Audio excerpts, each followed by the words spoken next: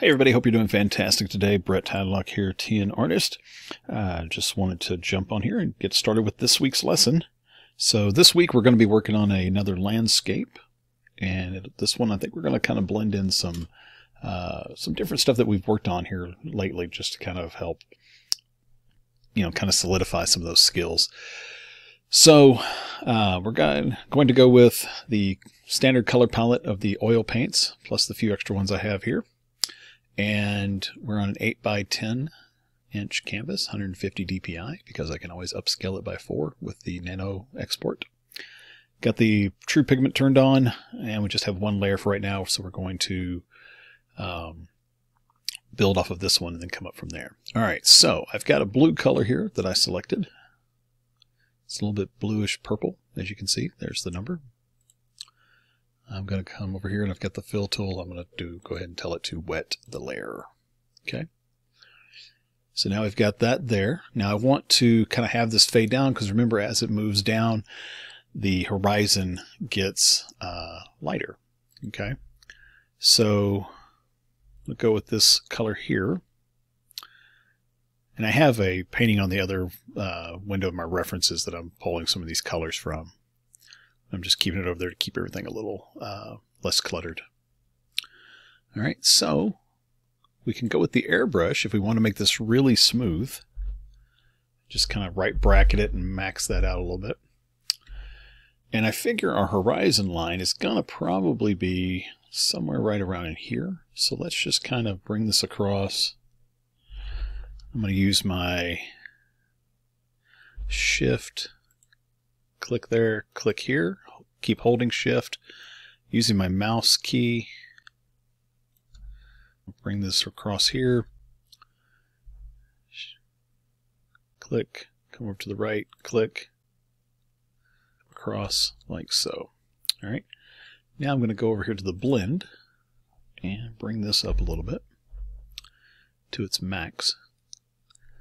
And I'm just going to kind of come across. I'll start at the top up here and just kind of fade it down. It is going to, as you can see, kind of lag a little bit because it's doing a lot of work at the moment.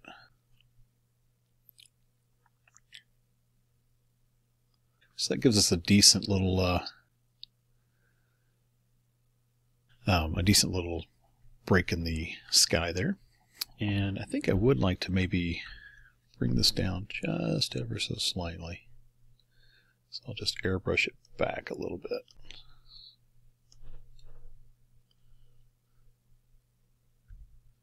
So I think I asked this the last uh, lesson that I did. What do you guys listen to while you're painting? I've got a mix on from Apple Music that is the uh, classic rock. So right now Journey is playing. Love me some Journey.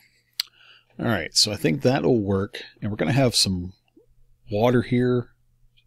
The ground is going to come up through here and come around. Maybe a mountain in the background. But let's work on these clouds up here. I'm going to switch over here to the oil brush.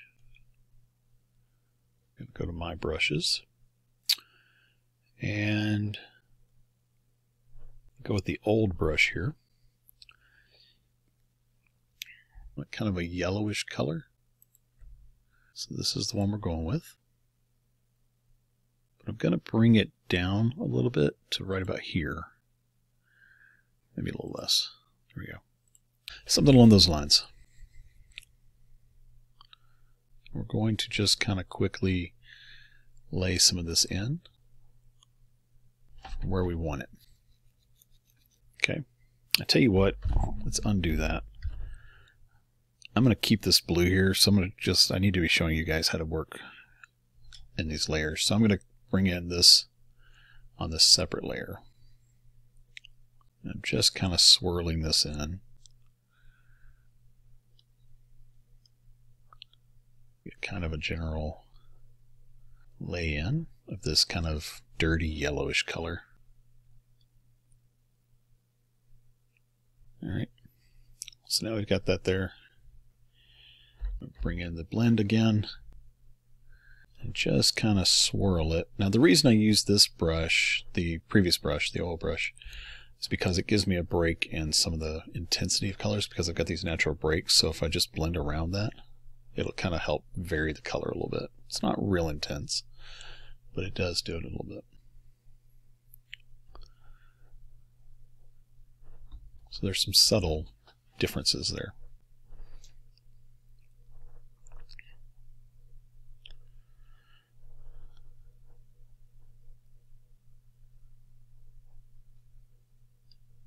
Let's see how that kind of fades off into that whitish color because they're very similar in values. And kind of similar in hue, but I mean, it's one's a little more purplish. I just want it to be really soft. Okay. So now we've got that there.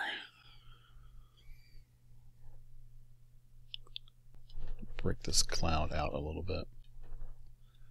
It's a little too uniform. Alright, so we go back to the brush.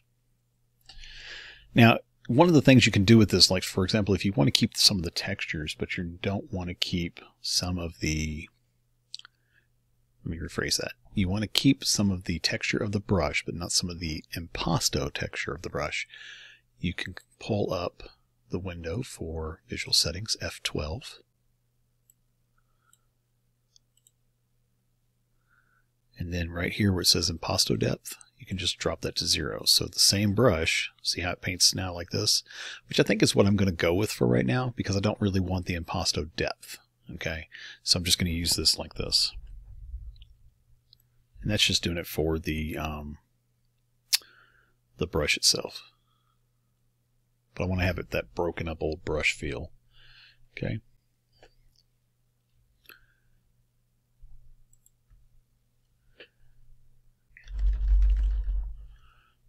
So now I want to kind of lay in, I think some of the highlights will be. Okay, then I can press 4, kind of just circle this around.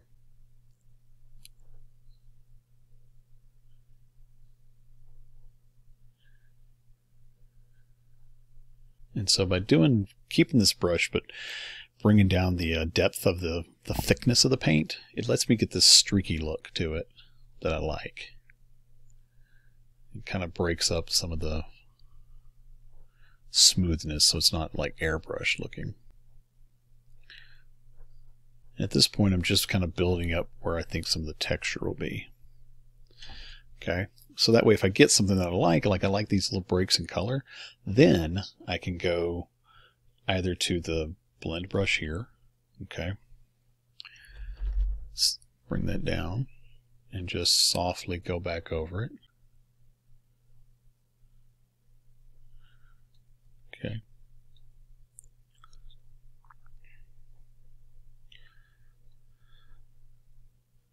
But see, it's a good way to kind of play around with these different brushes to get different blends and effects.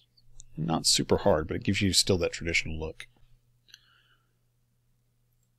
Zoom in just a little bit. But see how we've got all these different just natural layers here but now? So now we can switch back to the oil brush. We can add putting on one Add some streaks.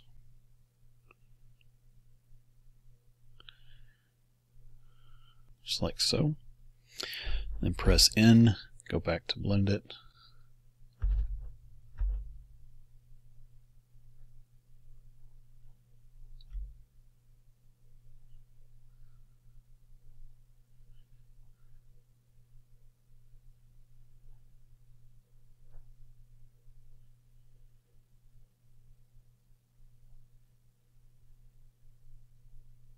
Okay.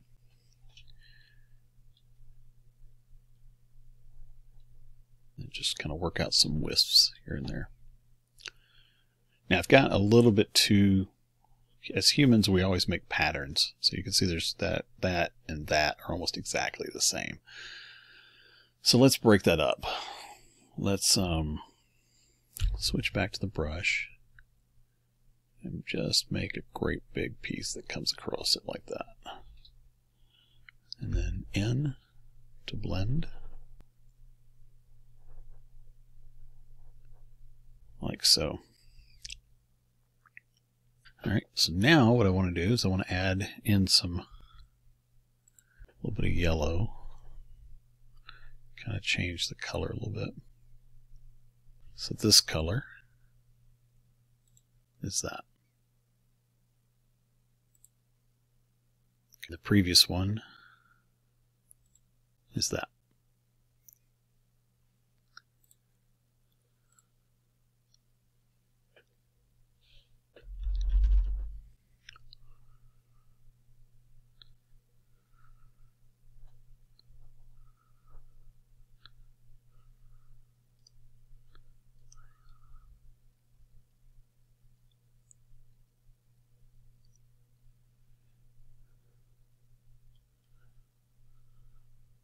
Push in and soften some of these. Now you can do four on here and that'll help keep some of that texture.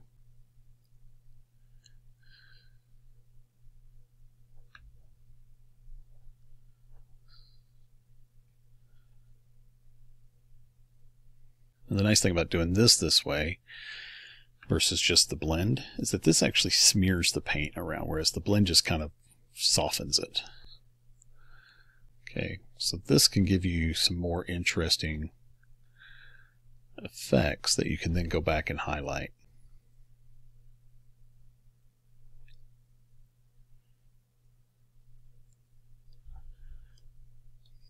And give you some randomness. You can take it and kind of fluff up some of these on the end.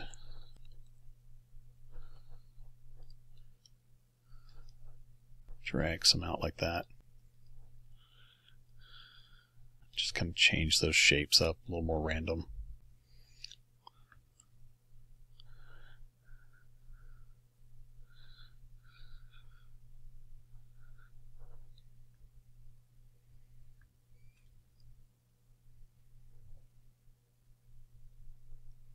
so see, now we've got some more interesting clouds because we've kind of broken this up a little bit. So I want to go with this color again, but now I want to come over. Let's come over here to where I've got more of this purplish color and add in some of that. Now this color is very close to this, but we're going to blend it around.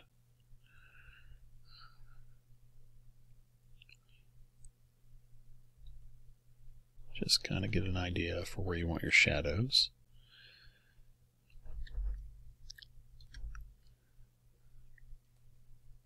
See how it's pretty close.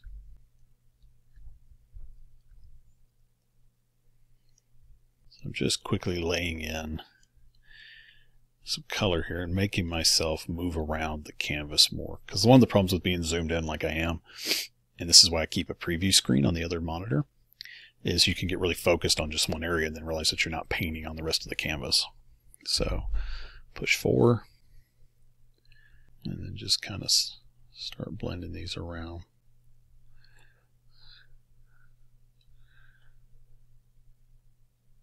And I want these to kind of sweep up a little bit.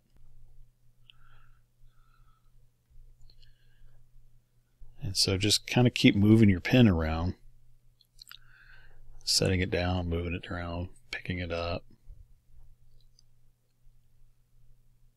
So that way it doesn't get too homogenized.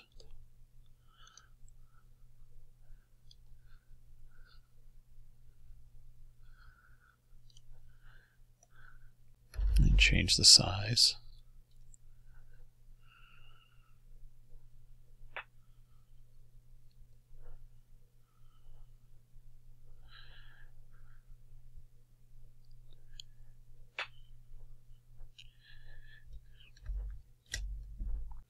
Okay. So let me zoom out just a little bit, a couple ticks here. All right. Make this a little bit larger. Just really softly.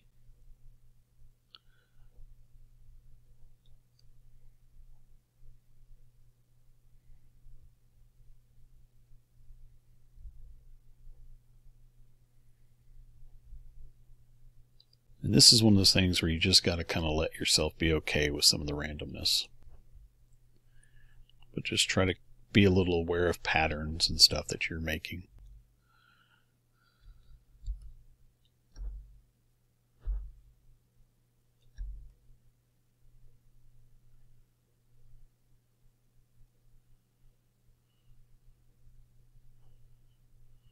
Something like that.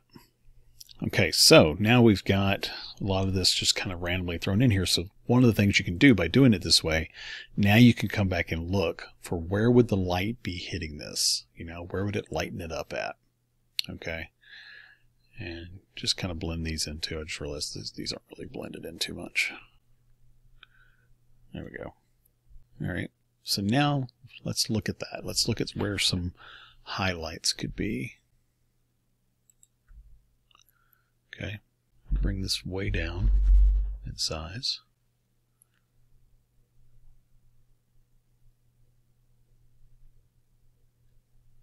And just kind of start building it out.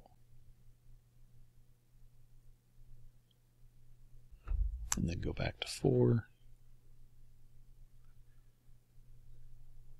Like so.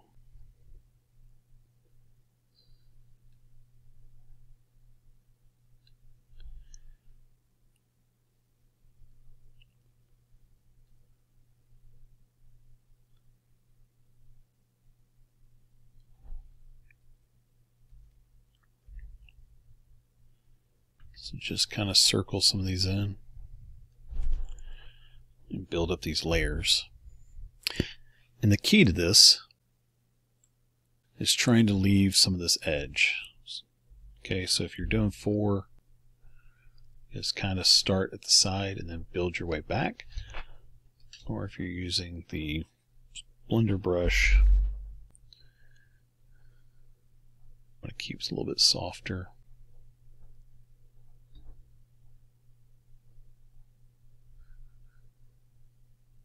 You can go over some of this and not really overly blend it, but just kind of soften it back, like so, so that it kind of lightly blends in. And then you've kind of got the best of both worlds here.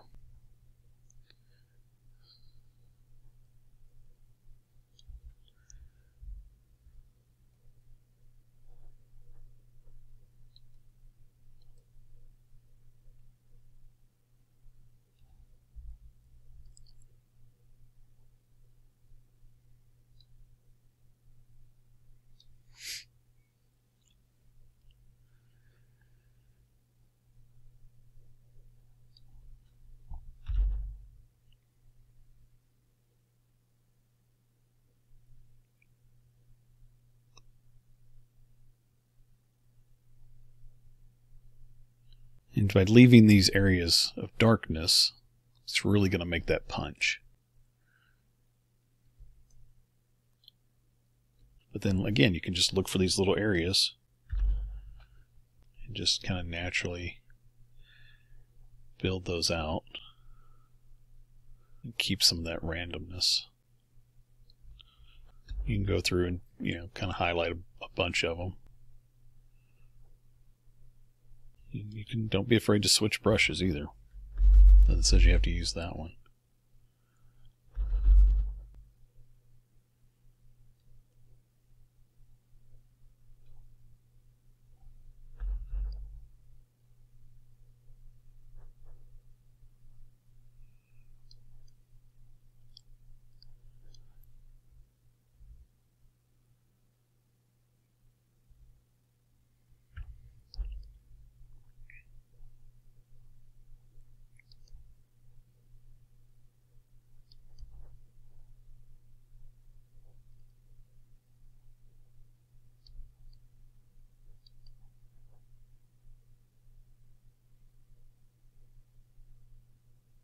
Let's see, by swirling these together, you're getting a really nice buildup of clouds.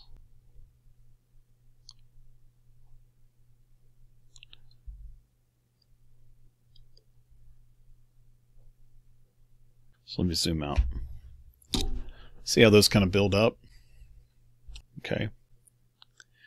And so we can just keep building them out and keep working our way around. All right.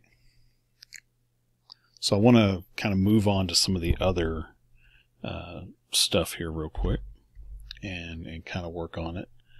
So that way we can build up some more areas, then come back and work on these a little more. Okay, I'm just going to throw in some notes here for where I think some highlights should be. So it may even end up covering up a good portion of this.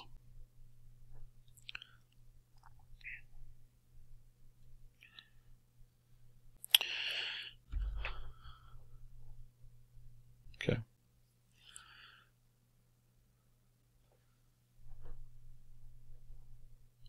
Just kind of keep smearing it around.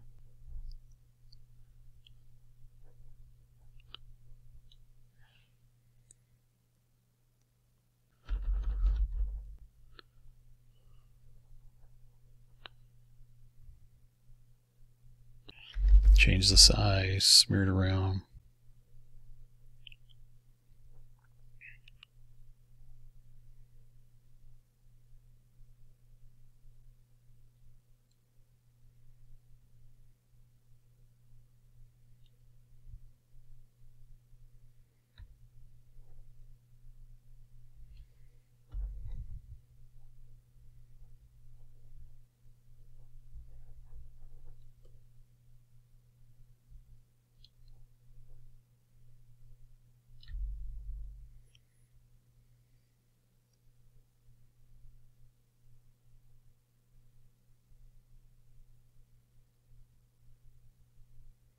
Again, it's just circles.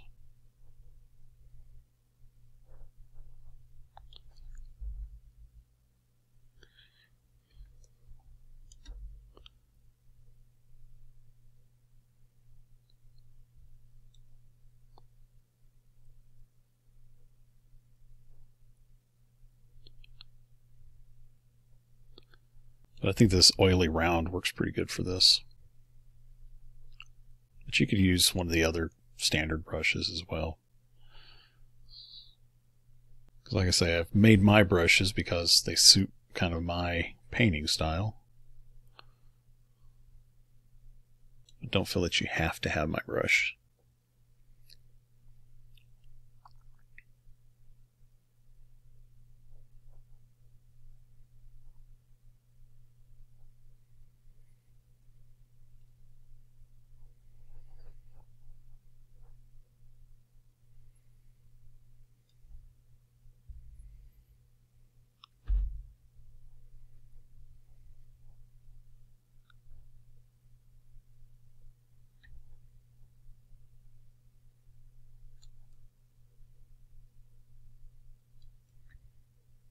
I think that's going to be a good place to kind of pause on that for a second.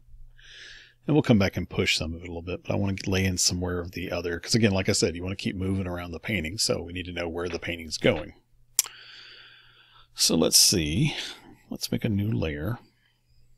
Um, let's build up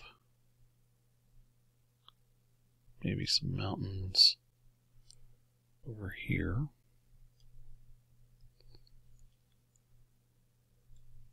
Oops. Add to.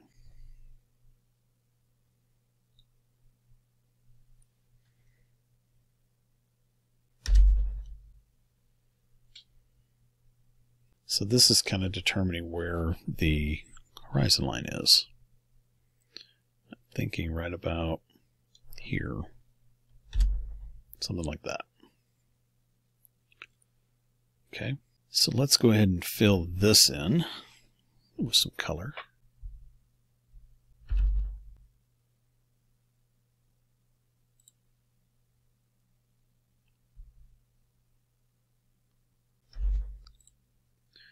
This is kind of a bluish gray.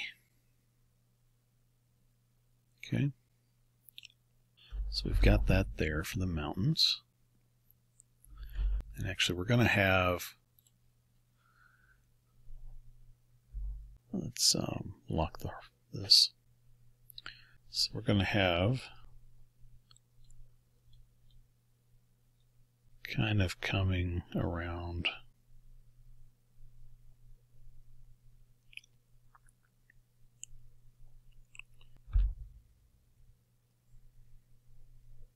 something like this.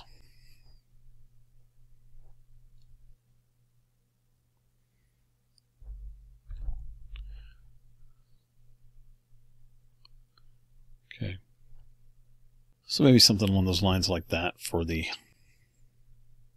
highlights. Okay.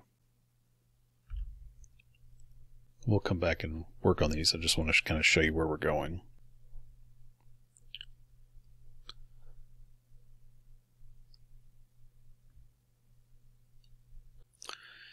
And a new layer. And go back to the selection tool. And we're going to kind of come in through here. I want to have, that's this is why I didn't put too much of that in there. I want to have some grass coming up through here. Maybe coming around to something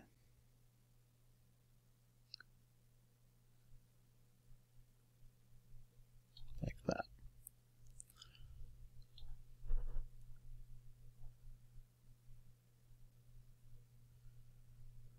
There we go.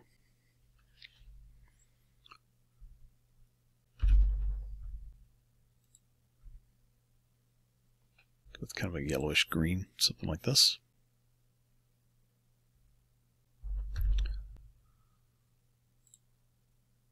All right.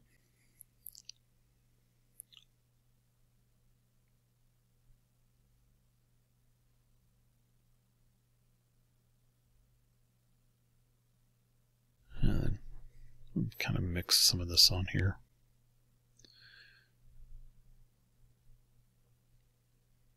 Permanent green.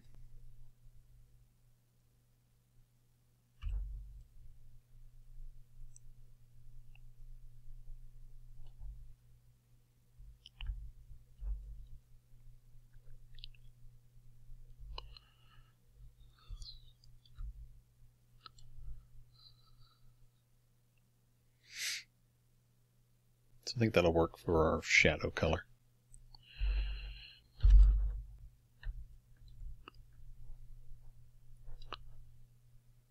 All right.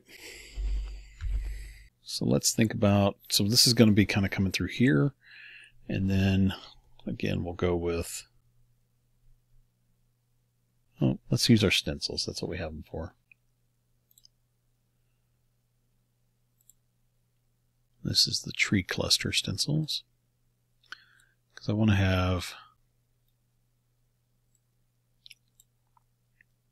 these here. And I may even just go ahead and do these on a, another layer. I'm going to go with this darker green that we just did.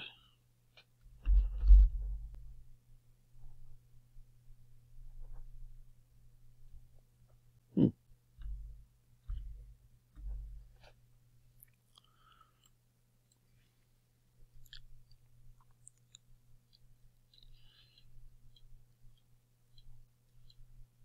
Not had it bleed under like that before.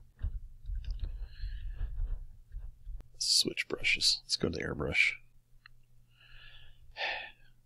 There we go.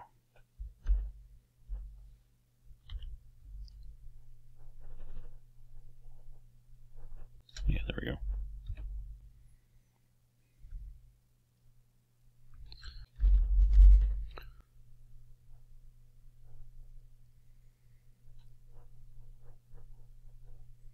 Okay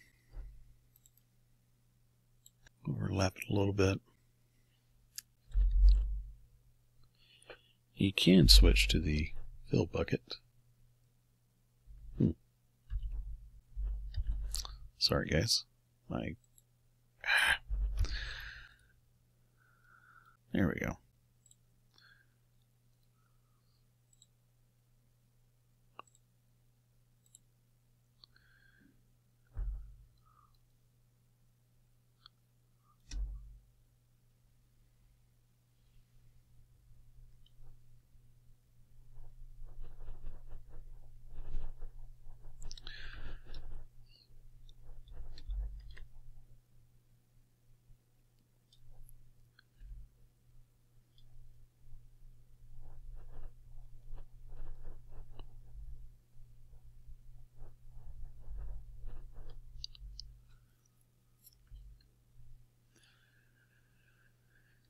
Something like that.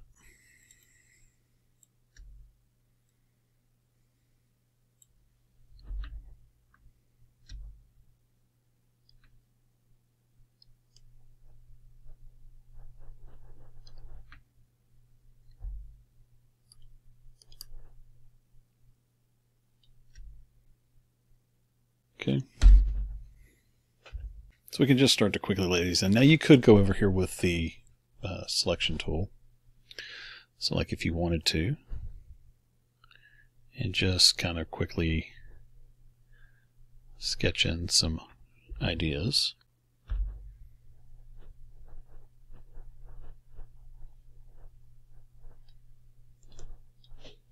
Like so.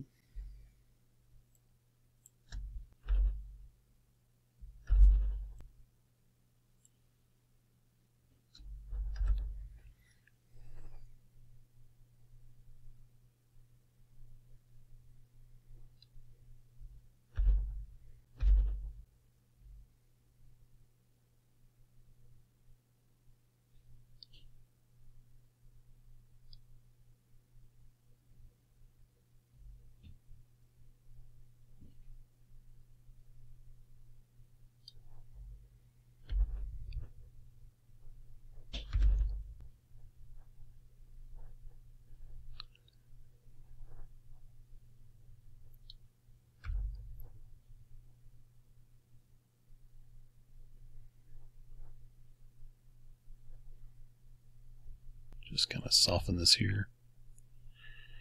Something like that.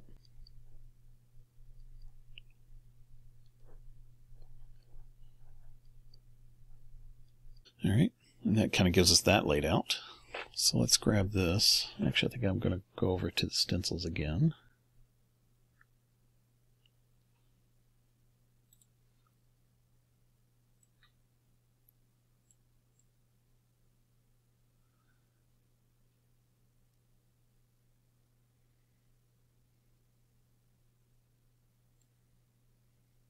Let's go with the dark green.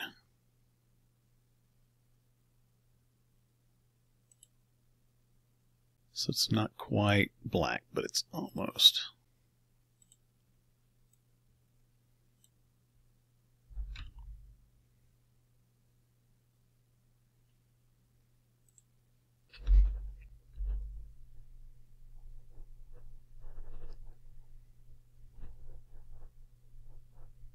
We can just kind of block in. Can I have this come around?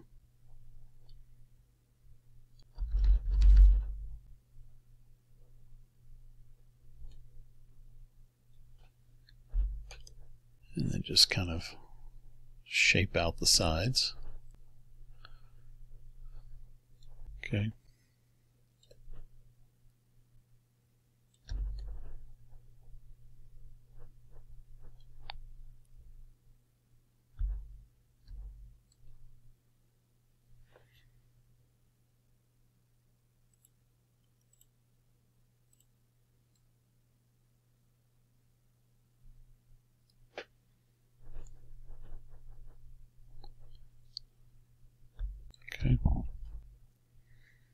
So something just dark to kind of pull in, in there. And that's going to push those way back. And again, this you could put on another layer. So like if you wanted all this to be together, you could do that. So like we've got here. So if we want to put those trees, then all you got to do is come over here. You can select this. It's probably going to grab just that because it's a good shift. Then just do Control X, Control V. Now you got on a separate layer. So we can work on these trees, this ground, this tree, and then we can start putting stuff here in the front. Okay.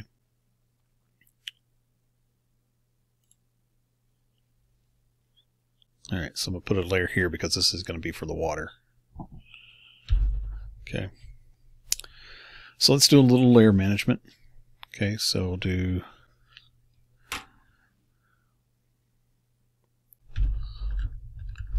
foreground trees, midground trees, grass, mountain, clouds, water, sky. Okay.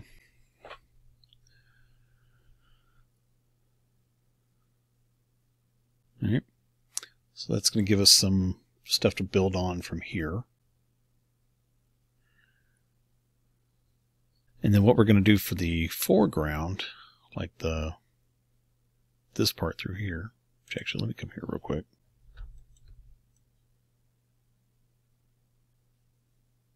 Halo. Like so. So now we can come up here, add another layer.